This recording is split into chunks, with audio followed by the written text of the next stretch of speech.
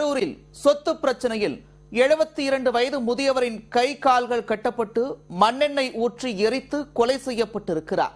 தம்பியும் அவரது குடும்பத்தினரும் சேர்ந்து செய்த கொலையின் பின்னணி என்ன?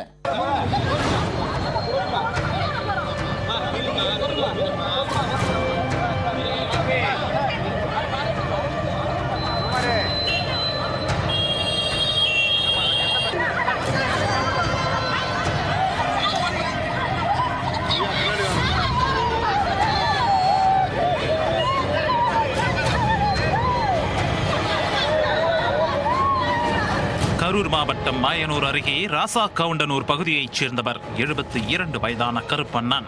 இவரது உடன் பிறந்த தம்பி அறுபத்தி எட்டு வயதான காத்தவராயன். கருப்பண்ணன் காத்தவராயன் குடும்பங்களுக்கு இடையே பூர்வீக விவசாய நிலங்கள் சம்பந்தமாக நீண்ட காலமாக பிரச்சனை உள்ளது.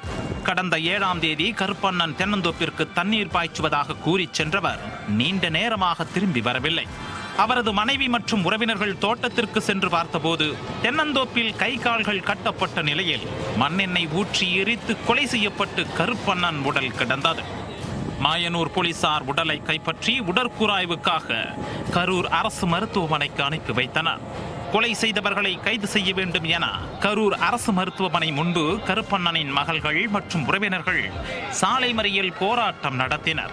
திடீர் சாலை மறியலால் கரூர் திருச்சி சாலையில் சுமார் ஒரு மணி நேரம் போக்குவரத்தும் பாதிக்கப்பட்டது.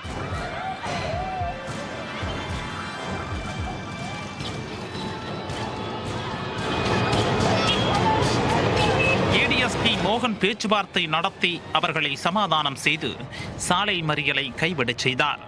தொடர்ந்து மாயனூர் காவல் ஆய்வாளர் தலைமையில் இரண்டு தனிப்படைகள் அமைக்கப்பட்டு கொலை செய்யப்பட்டது குறித்து போலீசார் விசாரித்து வந்தனர். அவரது மனைவி பழனியம்மாள் மகன் சக்திவேல் மூன்று பேரும் சேர்ந்து கருப்பண்ணனை கட்டையால் அடித்து கைகால்களை கட்டியுள்ளனர்.